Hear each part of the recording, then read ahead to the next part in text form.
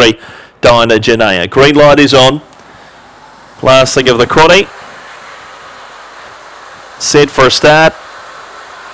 Racing. Winning the start, Dinah Hendry out deep. Away fast was Dinah Janea. Cosmos World kicking through as is Octo Flash right behind them. Fabulous G. Three lengths, Bluey Moran. And last of all, Lucas the Great. Along the side, Dinah Hendry led the way by two lengths. Octo Flash to second from Dinah Janea. Fabulous G. Further back to Bluey Moran into the straight. Dinah Hendry went very deep, but still over two in front of Dinah Janea and Fabulous G. And Dinah Hendry won it.